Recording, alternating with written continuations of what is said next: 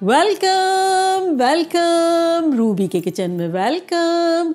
मेरे प्यारे प्यारे व्यूवर्स को मेरा प्यार भरा सलाम। आज हम झटपट बड़े मज़ेदार सी पास्ता कबाब बनाते हैं। वो भी मेरे स्टाइल में तो चलिए स्टार्ट करते हैं। अगर आपको मेरी वीडियोस अच्छी लगती है तो लाल सब्सक्राइब का बटन दबाएँ। बराबर में ये बेल का जो आइकॉन है, उसको दबाने से आपको मेरी रेसिपी सबसे पहले फ्री में देखने मिलेगी। वीडियोस अच्छी लगे थम्स अप दें। तो देखिए, हमारे पास यहाँ कीमा है, जो कि है एक पाउंड यानी आधा किलो के आसपास। ये धुला हुआ है और ड्राई है। पानी इसमें बिल्कुल भी नहीं है। जैसे कबाबों में पानी नहीं चाहिए होता है। तो चले झटपट इसमें हम मसाले डाल देते हैं, जो कि कुछ यूँ है कि आधा टीस्पून काली मिर्चों का पाउडर आधा टीस्पून चिकन पाउडर यानी नोर या मैगी की एक क्यूब डाल दें। आधा टीस्पून गार्लिक पाउडर इसके बजाय आप गार्लिक का, यानी लहसन का पेस्ट भी डाल सकते हैं। एक टीस्पून ऑरिगनो एक टीस्पून क्रश पेपर यानी कुटी मिर्चें, और आधा टीस्पून नमक। तो ये सब डाल देंगे इसमें। ऑरिगनो आपके पास ना हो तो स्किप कर सकते हैं। जब भी चिकन पाउडर डालें तो नमक जो है वो कम डालें। चलें। सोया सॉस की तरह है ऑलमोस्ट है ना? जब सोया सॉस भी जब डालते हैं, तब नमक कम डालते हैं ना? इसी तरह। चलें ग्लव्स पहनते हैं। इसमें डालेंगे हम एक टेबल स्पून तेल। और इसको हम अच्छे से मसल लेंगे।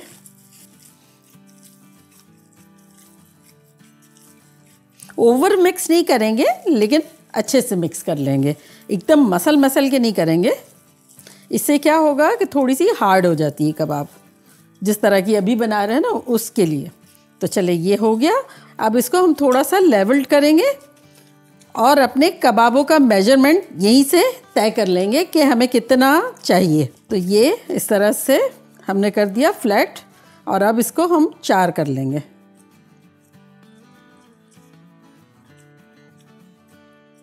चले तो ये अब उठाते हैं और एक चपली कबाब की तरह बनाते हैं। थोड़ा सा लंबाई में और थोड़ा सा चौड़ाई में।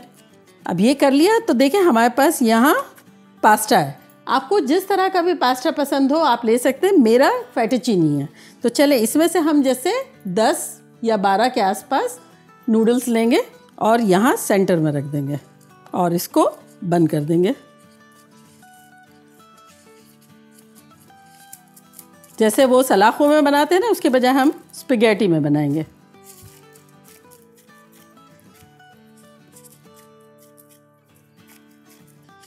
तो ये देखें, हमने चिपका दिया है और अब थोड़ा सा पानी लेंगे और इसको अच्छे से दबा देंगे।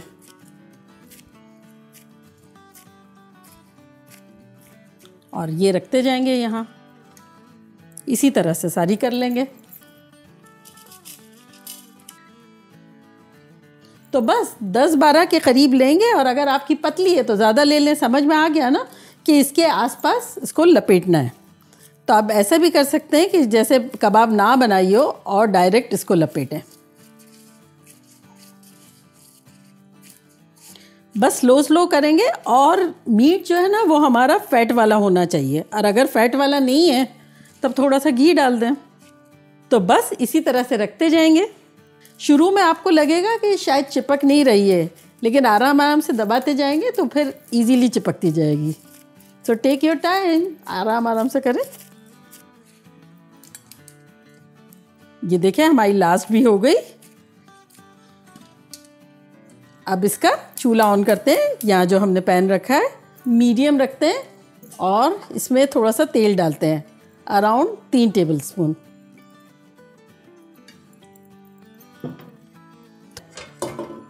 देखिए तेल थोड़ा बहुत गर्म हो गया है। अब इसमें हम डालेंगे एक टीस्पून लहसुन का पेस्ट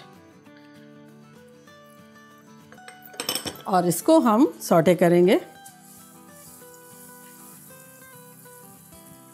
और अब इसमें हम एक एक करके अपनी कबाब डाल देंगे। तो ये देखें, ये उठाएँगे और इस तरह से डालेंगे।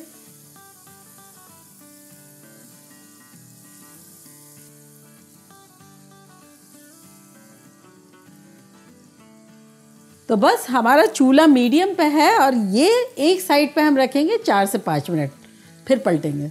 तो चले मिलते हैं चार पाँच मिनट में।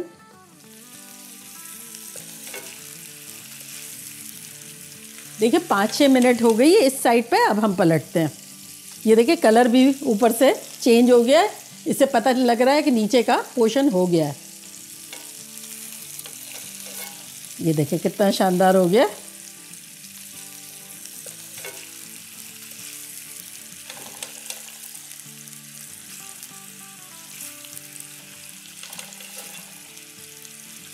तो बस, अब इस साइड पे रखेंगे पाँच छः मिनट। देखिए छः मिनट और हो गए हैं। खुशबुएँ लहसन की भी बड़ी अच्छी सी आ रही है पक पक के इसमें से। तब अब क्या करेंगे, हम इसको थोड़ा सा किनारा कर लेंगे।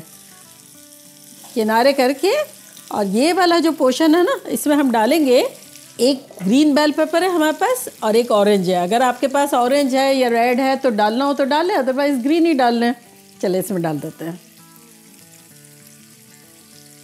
इसको अब हम सॉटे कर लेंगे। पैन को अब थोड़ा सा इस तरह से कर लेंगे कि मेन जो है टारगेट है हमारा शिमला मिर्च। तो इसको हम थोड़ा सा सॉटे कर सके और उसको तो हमने 12 मिनट पका लिया है, तब उसको थोड़ा किनारे कर देंगे। अगर आपका पैन जो है इतना बड़ा नहीं है, तब आप सेपरेट भी थोड़ा सा सॉटे करके इसमें डाल सकते हैं। देखें, कैसे शाइनी शाइनी मज़ेदार सी हो गई है। अब देखें, ये हमारी कुछ गार्डन की कुछ मिर्च पड़ी हुई है।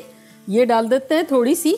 बहुत ज़्यादा स्पाइसी तो करना नहीं है और ये तेज़ नहीं होती है, लेकिन ये थोड़ी प्यारी लगेगी। जो मोस्ट टॉप पॉपुलर शेड्स हैं ना, जो बेसिक शेड्स हैं कलर दुनिया के, हरा, पीला और लाल, वो देखे, देख के तो आँखों को खुशी होगी।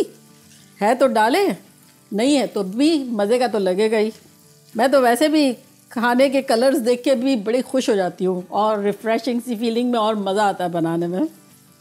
देखिए थोड़े बहुत सॉटे हो गए हैं। अब इसको पैन को हम उठा के यहाँ रखते हैं और ये थोड़ा सा डिस्ट्रीब्यूट कर देते हैं हर जगह। क्योंकि हमें एक जगह तो रखना नहीं है और कबाबों को हमारे ले आते हैं सेंटर में। देखें यहाँ हमारे पास टोमेटो प्यूरी ग्राइंड किया हुआ है। जो हमने टोमेटो प्यूरी बनाया था ना, उसको ग्राइंड कर लिया। और अगर आपने नहीं देखा है या नहीं बनाया या नहीं है तब आप क्या करें टोमेटोज़ को बॉईल करके, छिलका निकाल के उसको ग्राइंड कर लें। तो बेसिकली ये वो ही है। और हमने जो टोमेटो प्यूरी बनाया था ना, उसको मैंने थोड़ा सा ग्राइंड कर लिया है ताकि बारीक हो जाए। तो चलो इसको डाल देते हैं इसमें, और तीन कप है ये।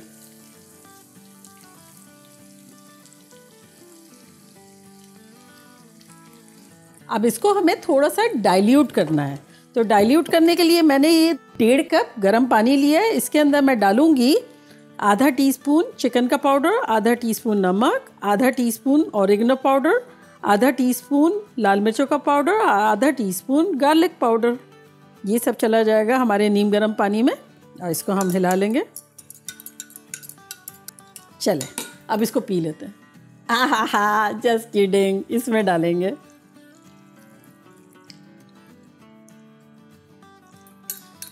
अगर आपके पास ऑरिगनो ना हो तब स्किप कीजिएगा, कोई इतना मसला भी नहीं है। चले। चूल्हा हमारा मीडियम टू मीडियम लो पर है, इसे हम कवर कर देंगे और कुक करेंगे 40 टू 45 मिनट्स तक और फिर देखेंगे कि लग कैसा रहा है। देखिए 45 मिनट्स हो गई है, खुशबुएँ शानदार आ रही है, खोल के देखते हैं कि लग कैसा रहा है। हम्म देखिए हमारी नूडल्स खिली खिली सी हो गई है, ये देखें, है ना? मज़ेदार, ना? ये देखें, सारी नूडल्स जो है, वो खुल गई है।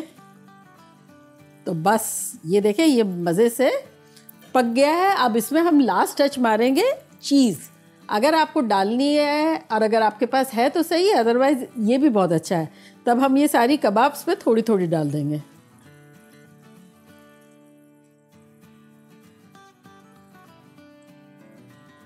तो ये तकरीबन एक एक दो दो टेबल स्पून के आसपास जितनी आपको अच्छी लगे, इतनी डाल दें और अगर नहीं डालेंगे तब भी बहुत अच्छा लगेगा। है तो डाल दें अदरवाइज़ कोई ज़रूरी नहीं है। चले। अब ये डाल दी हमने, तब इसको हम दोबारा कवर कर देंगे। चार पाँच मिनट के लिए। और चूल्हे को हम कर देंगे मीडियम लो तो मिलते हैं चार पाँच मिनट में। देखें पाँच मिनट हो गई है चूल्हे को करते बंद, खुशबुएँ ख़तरनाक आ रही है। और खोल के देखते हैं एब्रा का डैबरा ये! देखिए, कितना यमी लग रहा है। चले इसको डिश आउट करते हैं।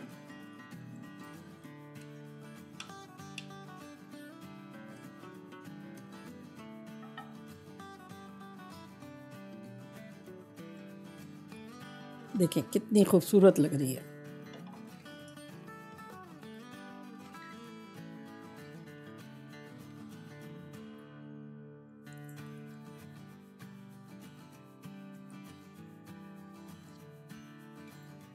और ये अब ज़बरदस्त सा सॉस।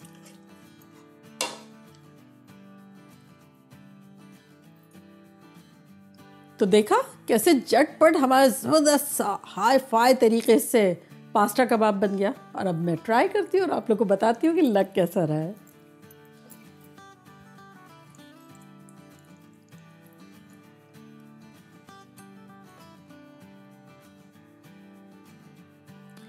खुशबुएँ तो शानदार आ रही है। चलो मैं बताती हूँ आपको कबाब लग कैसी रही है।